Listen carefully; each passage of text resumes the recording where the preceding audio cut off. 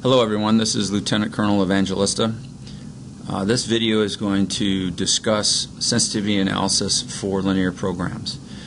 The video was created for EM 384, uh, however it, uh, it applies broadly um, to across a number of classes that we teach in the Department of Systems Engineering at West Point, um, so please feel free to use it as you see fit. This um, sensitivity analysis discussion will be motivated by problem 9.7 uh, from, from your textbook.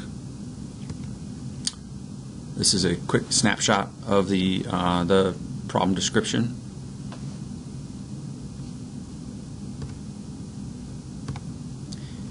And you can see that the problem has been formulated um, and handwritten.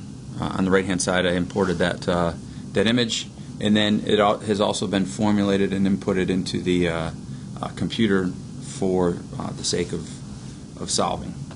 Um, a few uh, things that have been prepositioned or formatted. So I have the decision variable cells highlighted in yellow, which is my typical convention along the top. Uh, the objective function, along with the sum product uh, formula that's necessary to calculate it, is highlighted in red. The left-hand side of all my constraints are, are green, and the sum product formulas, again, have been already um, created.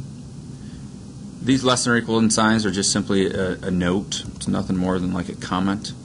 And then the right-hand sides here um, are parameters of the equation or of the formulation and are hard-coded in, as are all of the coefficients that are uh, within the um, constraint um, coefficients that are shown here, as well as the objective function coefficients shown here. So to frame the problem just a little bit, um, we have uh, this idea that there's um, electronic and battery operated or powered um, smoke alarms, um, and there's there's essentially four different types. So you have electronic units that you produce, battery units that you produce, and then there's this idea that you can subcontract and sell electronic units, and you can subcontract and sell battery units. There's a cost as well as a revenue um, associated with each, and that's depicted in this first expression right here. Um, so I will leave it to the students to reread the problem and, and, and understand how this particular formulation uh, fell out. But the bottom line is that this final objective function formulation that's shown here, and the same coefficients are reflected here on the um, Excel sheet, um, that represents the profit um, that can be achieved by um, selling each of those, those units. Um, but that's subject to a number of constraints, fabrication, assembly, shipping, um, as well as demand. Okay, so let's get right into solving this. I'm going to go through the mechanics just to, for the sake of reviewing that. so if we're using Analytic Solver platform, first thing I'm going to do is I'm going to, I'm going to highlight my decision variables. I'll go to Analytic Solver uh, platform, um, decisions, normal. Okay, and they populate. And one thing I can't see right now is I can't see the view.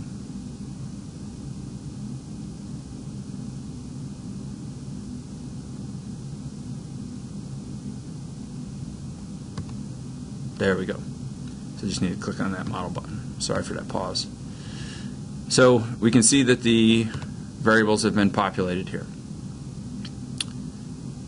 The next thing I'm going to do is I'm going to go ahead and identify my constraints. I'll click on that. I'm going to cell reference the left-hand side. Okay. They're all less than or equal to. The right-hand side, I'll cell reference the, that range as well. And you can do that as a range when they're all uh, uh, the same direction. When these are different directions or equalities, you do have to add them separately. I'll click OK, and you can see again that populates here. And then I'm going to click on the objective, drop down the objective. This is a max, and it's normal, and it populates right here. Now, for some reason, any of these were not what you wanted. You just double click on it, dialog box opens, you can change it. Once those three components, the three components that we've talked about in class uh, uh, for a linear program, have been established in Solver. Then what I can do is go to the engine, make sure that standard LP quadratic engine is selected. I will make sure that my flag for assume non-negative is set to true. Okay, and right down here, it, Lieutenant Colonel Evangelista would receive a minus one because he did not write the final constraint, which is x sub i should be greater than or equal to zero, and that represents that non-negativity. So that's something I missed actually in my formulation right here. So we set that flag. We go to our output. We hit go. Skip the guidance. And we get a solution. So we can see here from the solution um, the number of electronic units produced, battery units produced, electronic units subcontracted and sold, and we're not producing any of these uh, battery units subcontracted and sold. So, as I mentioned at the beginning, what we're interested in is we're interested in sensitivity analysis. And that, that idea, what it's all about is hey, what if something in this model changes? So, what if a right hand side over here changes? What if for some reason we can have more fabrication capacity or assembly capacity or shipping capacity? Or what if demand changes? Those are all questions that we can answer with sensitivity analysis. We can also explore what happens if any of these coefficients change up here. Okay, and there's other aspects, but those are the two primary ones uh, that we're interested in with sensitivity analysis. So I'm going to delete this because I want to show you how to create it from uh, from scratch or from, from this state right here. So what I would do is I would go up here, and this has to happen after you have successfully run your model. I'm going to click on Reports, Optimization. I get this drop down here, and I'm going to click Sensitivity. And you can see that the sensitivity report um, appears. Okay, and this uh, uh, sensitivity report is showing me um, my final value for um, the uh, objective function, final value for my decision variables, and then we're going to get into this idea of reduced cost and shadow price. So what I'm going to need to do to do that is, let me just bring these two over. This is another sensitivity report. That, that other one was not quite what I wanted. It was during some exploration. But this is a sensitivity report that I'm going to want to discuss. So right here, what we have is not necessarily, I, I don't like this idea of uh, sensitivity analysis on decision variables. I'm going to delete that because we're really not doing sensitivity analysis on decision variables. What we're doing is we're doing sensitivity analysis on constraint, or I'm sorry, objective function coefficients. That's what reduced cost is exploring. So it's trying to understand how the solution will change if the objective function coefficient changes. So going back to our formulation, right? What are our objective function coefficients? 10.7, 12, 8, and 6.5, which are shown right here as well. If those change, does our solution change? Well, that's what the sensitivity analysis is exploring in this top part here. So what you can see is this idea of reduced cost is displayed, and this is one of the concepts that you're going to want to understand. So reduced cost is explained right here. How much the objective function coefficient of each decision variable would have to improve before that particular decision variable that it's associated with is included in the optimal solution. So the first three decision variables have no um, reduced cost because they're already in the so the, if we if we change it change they may drop out of the um, solution but they won't be introduced however the fourth decision variable the battery unit subcontracted and sold was not part of the problem and you can see here that if we change the objective function coefficient by 3.7, it will in fact include that um, decision variable. Now, this negative sign is what that is. Is that's an artifact of um, really the, the optimization, which uh, within optimization, what you what you have to uh, uh, understand is that typically we are solving um, minimization functions. Because this is a maximization function, that negative's in there. But don't let that confuse you. What I want you to focus on is I want you to focus on this over here, this allowable increase and allowable decrease. What this is telling you is this is telling you that this is the range of values that that um, coefficient can span and the basis, the, the variables that are included in the solution will not change. All right, so let's explore that just for a second. Remember that number 3.7. So we'll go back here. And the allowable increase was 3.7. So if we do just a, a little bit of mental math, okay, 3.7 plus 6.5, 9.5, 10.2. So if I introduce, let's say 10.1, okay, we should not see a change. All right, so let's see what happens. I'm going to I'm going to run this again. Skip the guidance. Okay, and you can see here that we still are not subcontracting any of these. However, if I change this to 10.2 and I run, skip the guidance. All right, again, nothing changes, but now how about 10.25? Skip the guidance.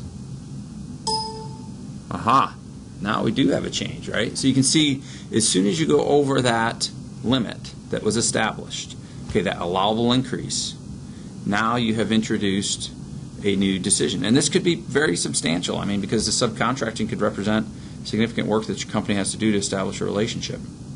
So that example there um, introduces the idea of, I'm going to change that back so I don't forget introduces the idea of reduced costs. Okay, so again, it's it's it's this idea of an allowable increase. It's how much the objective function coefficient for a decision variable would have to, to improve before it's included in the optimal solution.